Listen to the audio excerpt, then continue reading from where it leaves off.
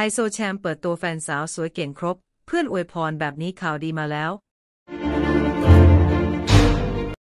ไม่ได้อัปเดตเรื่องหัวใจของไฮโซแชมป์จิรัตมาพักใหญ่ เนื่องจากเจ้าตัวมักจะโพสต์อินสตาแกรมเกี่ยวกับเรื่องธุรกิจ หรือไม่ก็งานสังสรรค์ในแวดวงสังคม แต่อยู่ๆก็มีเรื่องให้ชาวเน็ตปูเสื่อเผาเผือกร้อนกันอีกแล้ว เมื่อล่าสุด 26 สิงหาคม